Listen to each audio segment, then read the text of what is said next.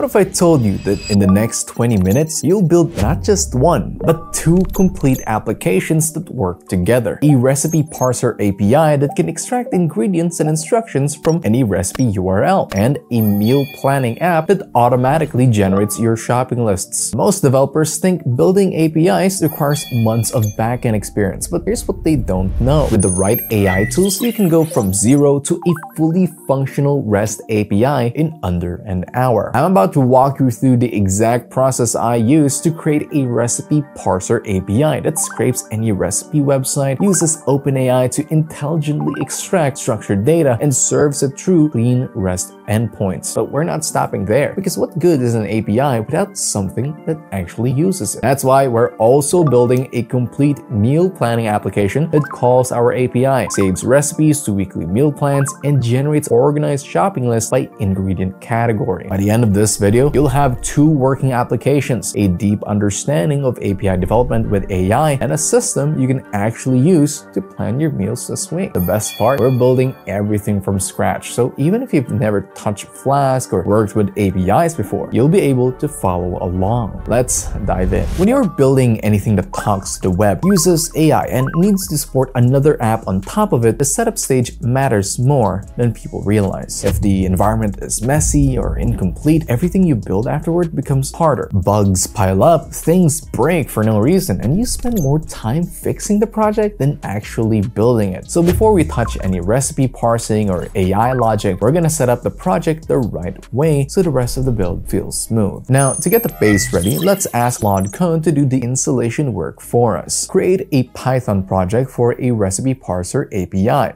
Uh, don't build any functionality yet, but just install all the necessary packages for creating REST APIs, web scraping, and AI integration. Make sure everything is installed accordingly and the project structure is correct.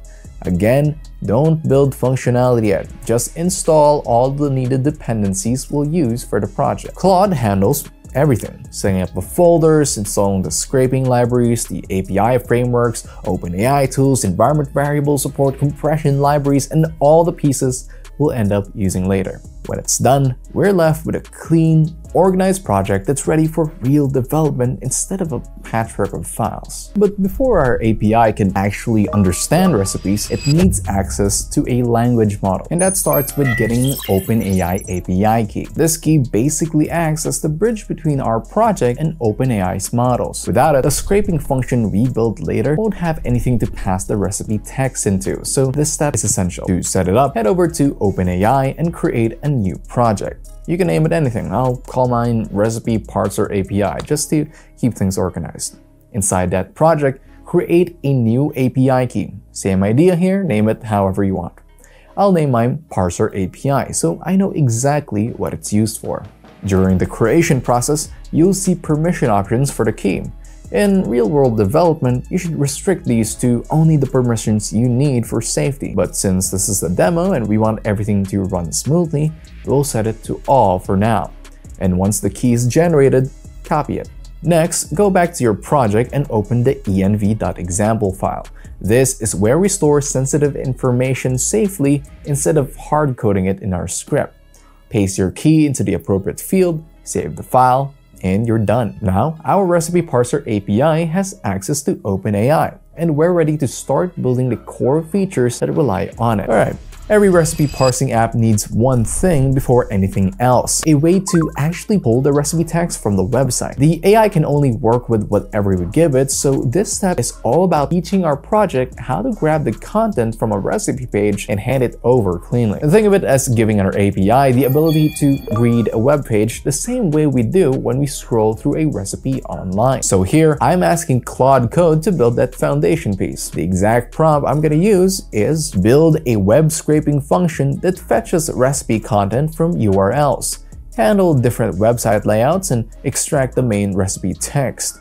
Add error handling for invalid URLs and inaccessible pages. Claude starts generating the function, and pretty quickly you'll see the code appear. A full scraper that sends a request to the URL, downloads the page, and searches through the HTML to find the part that actually contains the recipe.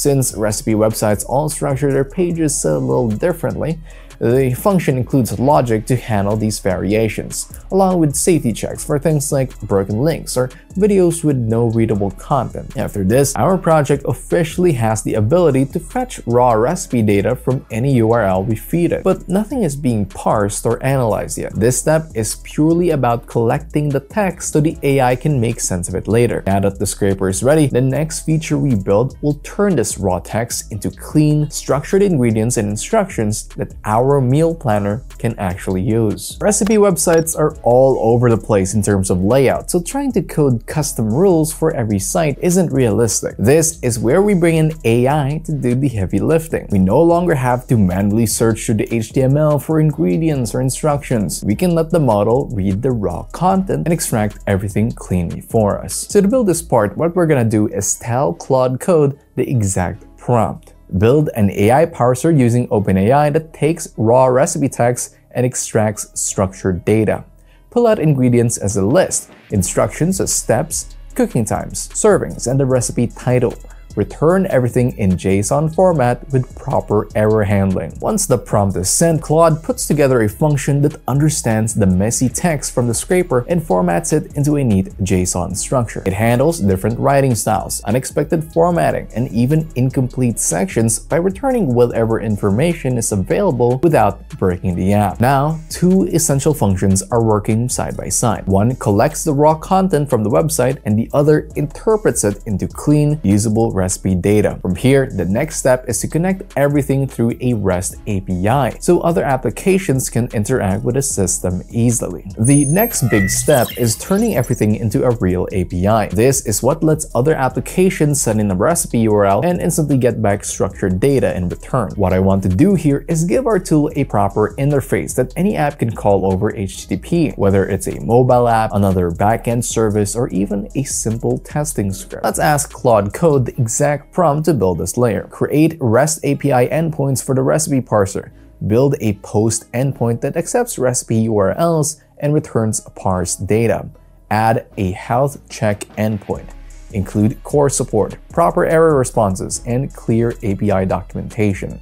After sending this, Claude creates the full set of endpoints, wiring the scraper and parser together inside a clean post route that takes a URL, processes it, and returns everything the client needs. It also sets up essentials like CORS, so different applications can talk to the API without issues, plus a basic health check route so we can confirm the server is running. And there we have it, a fully functioning recipe parser API. Any application can now call it and instantly receive ingredients, instructions, nutritional info, and more. But we're not stopping there. We can now start expanding its capabilities and add features that make the data even more useful. A lot of recipe websites list details like calories, protein, carbs, and fats and having that information available makes the API far more useful, especially for anyone tracking macros or planning meals with specific nutrition goals. We don't want our API to just return ingredients and instructions. We want the parser to capture whatever nutritional info the website provides and pass it back cleanly in the final JSON. In order to add this feature, let's tell Claude Code this exact prompt. Enhance the AI parser to extract nutrition information when available look for calories, proteins, carbs, uh, fats, and other nutrition facts. If the recipe doesn't include this data, return null values update the API response to include a nutrition section. After running this, Claude updates the parsing logic so the AI checks the scraped text for any nutrition-related content and formats it properly in the response. This enhancement makes the API much better suited for meal planning apps, fitness tools, or anyone who cares about what's actually in their food. Before moving on to the meal planning app, we need to make sure our recipe parser API actually behaves the way it should. At this point, we've built several several core components, the scraper, the AI parser, the endpoints, and the nutrition extractor. So running a dedicated test script helps us confirm that everything connects properly and returns clean, structured data. The idea here is simple. Start the server, feed it a few recipe URLs, and check whether the output includes all the fields we expect. Let's ask Claude Code to uh, create testing functionality for the API. Build a test script that starts a server and sends requests with different recipe URLs. Show the parse results clearly including all fields like ingredients, instructions, and nutrition data. Claude generates the full testing script automatically, which gives us a quick and repeatable way to validate the API without manually calling endpoints one by one. Now that the script is ready, we can run it in the terminal using python test underscore API underscore complete.py. The script launches the local server, begins processing the sample recipe links, and prints the parts results right in the console.